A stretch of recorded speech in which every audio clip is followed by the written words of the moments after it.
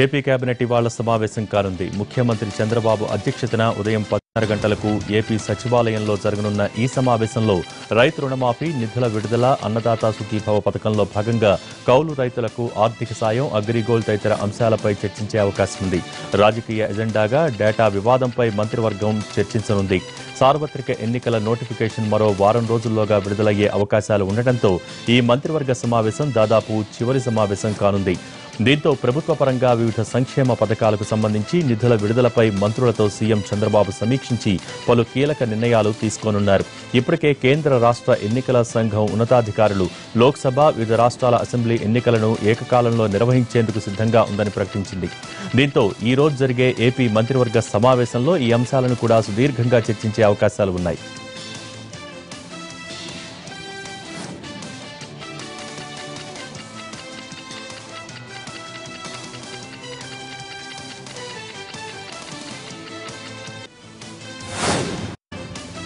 ఎన్నికలు సమీపిస్తున్న వేళ వైసీపీ స్పీడ్ పెంచింది. ఇప్పటికే పాదయాత్రతో రాష్ట్రమంతటా పర్యటించిన జగన్ ఇక జిల్లాల వారీగా పార్టీ శ్రేణుల్ని ఎన్నికలకు సిద్ధం చేసేందుకు కసరత్తు ప్రారంభించారు. అలాగే ఎన్నికల మేనిఫెస్టోను ప్రజల్లోకి బలంగా తీసుకువెళ్ళేందుకు కూడా వ్యూహరచన చేస్తున్నారు. ఇందులో భాగంగా వైసీపీ ఆధ్వర్యంలో ఇవాళ నెల్లూరులో సమరశంఖారావం సభ జరగనుంది. ఇందుకోసం ఎన్టీఆర్ నగర్ సమీపంలోని జాతీయ రహదారి పక్కనే ఉన్న ఎస్వీజీఎస్ కళాశాల మైదానంలో ఏర్పాట్లు పూర్తయ్యాయి. పార్టీ అధినేత జగన్ సభలో పాల్గొంటూ ఉండటంతో పాటు పార్టీ శ్రేణులు బూత్ కమిటీ సభ్యులతో మాట్లాడనున్నారు. సభకు వచ్చే వారికి ఇబ్బందులు లేకుండా కుర్చీలు వాహనాల పార్కింగ్ వంటి సదుపాయాలు కల్పిస్తున్నారు.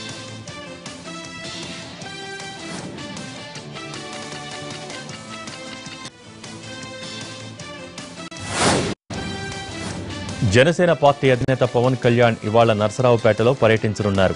వినుకొండ రోడ్డులోని జనసేన పార్టీ కార్యాలయం నుంచి ఓవర్ బ్రిడ్జ్ మల్లమ్మ సెంటర్ శివుడు బొమ్మ సెంటర్ల మీదుగా పల్నాడు రోడ్డు వరకు రోడ్ షో ర్యాలీ జరగనుంది. సాయంత్రం ఐదు గంటలకు పల్నాడు రోడ్డులో జరిగే బహిరంగ సభలో పవన్ కళ్యాణ్ ప్రసంగిస్తారు.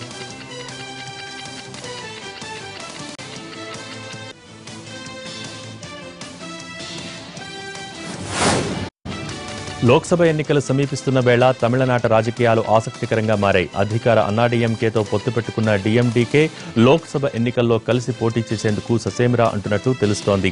డీఎండీకే తమకు రాజ్యసభ సీటు ఇవ్వాలని అన్నాడీఎంకే పార్టీని అడిగినప్పటికీ ఆ పార్టీ నో చెప్పింది.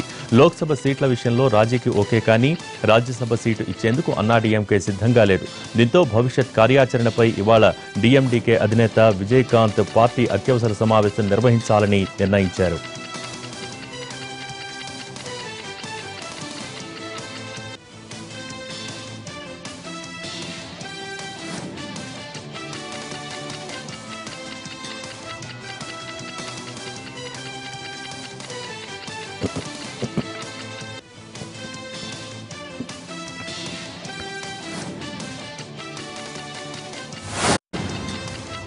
ప్రధాన మంత్రి కిసాన్ సమ్మాన్ నిధి పథకం మొదటి విడతలో భాగంగా ఇవాళ మరికొందరు రైతుల ఖాతాల్లో నగదు జమ చేస్తామని కేంద్రం ప్రకటించింది.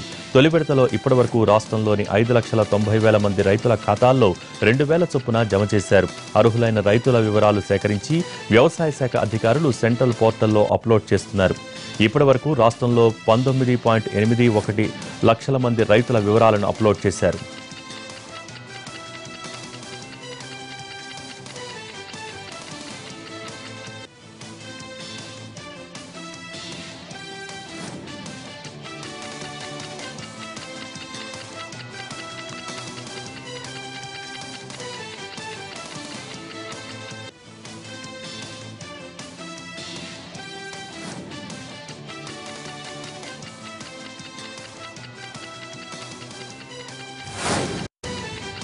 పశ్చిమ గోదావరి జిల్లా టీడీపీలో అసమ్మతి సెగ కాకరేపుతోంది. పదిహేను అసెంబ్లీ స్థానాలలో ఆరు సీట్లకు క్యాండిడేట్ల ఎంపిక పెండింగ్లో ఉంచడంతో ఆశావహులు సిట్టింగ్ ఎమ్మెల్యేల్లో టెన్షన్ నెలకొంది. ఎవరికి అవకాశం దక్కుతుంది ఎవరికి అవకాశం చేజారబోతోంది అనే లెక్కల్లో కేడర్ కన్ఫ్యూజన్లో ఉంది. సీట్ల కేటాయింపు పూర్తయ్యేదాకా సిట్టింగులతో పాటు ఆశావహులకు కంటి మీద కునుకు లేకుండా పోతోంది.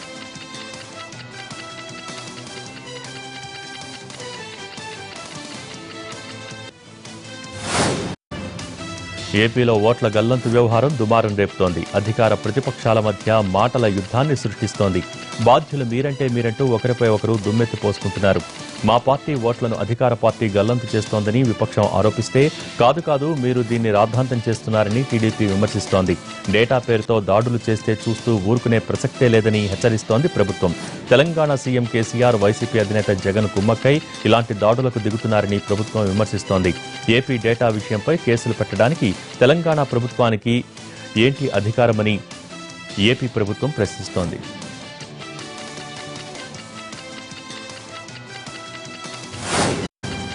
వైసీపీ కూడా అదే స్థాయిలో విమర్శిస్తోంది. దొంగే దొంగ అన్నట్టు తప్పు చేసిన టీడీపీ తమపై ఎదురుదాడి చేస్తోందని అంటోంది.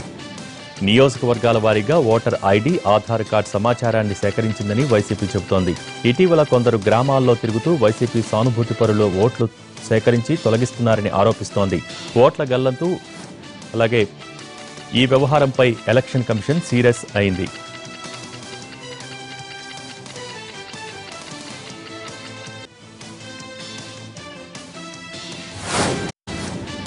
ఐటీ గ్రిడ్ కంపెనీపై ఏపీ ఓటర్ల వ్యక్తిగత వివరాలు చోరీ చేసిందని కేసు నమోదు చేశారు పోలీసులు. మాదాపూర్లోని ఆ కంపెనీలో పనిచేస్తున్న నలుగురు ఉద్యోగులను అదుపులోకి తీసుకుని ప్రశ్నించారు. అయితే ఆ కంపెనీ హెబియస్ కార్పస్ పిటిషన్తో జోక్యం చేసుకున్న హైకోర్టు నలుగురిని తమ ముందు హాజరుపరచాలని ఆదేశించింది. తర్వాత వారిని అదుపులో ఉంచుకోవాల్సిన అవసరం లేదంటూ పంపేసింది. ఇప్పుడు సైబరాబాద్ పోలీసులు ఐటీ గ్రిడ్ ఎండీ అశోక్ నోటీసులు జారీ చేశారు. అతని కోసం గాలిస్తున్నారు.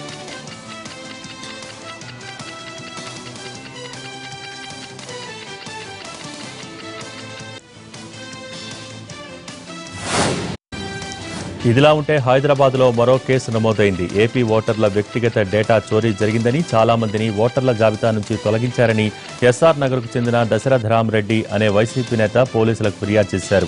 ఈ కేసులో ఐటీ గ్రిడ్ అశోక్ను ప్రధాన నిందితుడిగా చేర్చారు. అశోక్తో పాటు ఆ సంస్థ ఉద్యోగులు కమలాకర్ గఫూర్లను కూడా నిందితులుగా పేర్కొన్నారు. అశోక్ కోసం ప్రత్యేక టీంలను రంగంలోకి దింపారు హైదరాబాద్ పోలీసులు.